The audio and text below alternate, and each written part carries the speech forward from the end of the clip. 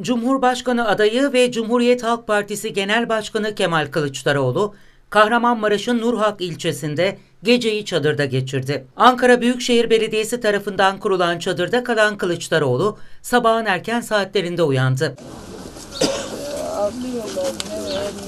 Kılıçdaroğlu depremzedelerle kahvaltıya geçmeden önce kendisini çadırın önünde bekleyen depremzede Eşe Gözel'le ateş başında sohbet etti, sorunlarını dinledi. Şimdi torunlar da oradan zaten yerlerine hoşta bir şey yok. Ee, diğerler dışarıda da ikisi kız çocuğu.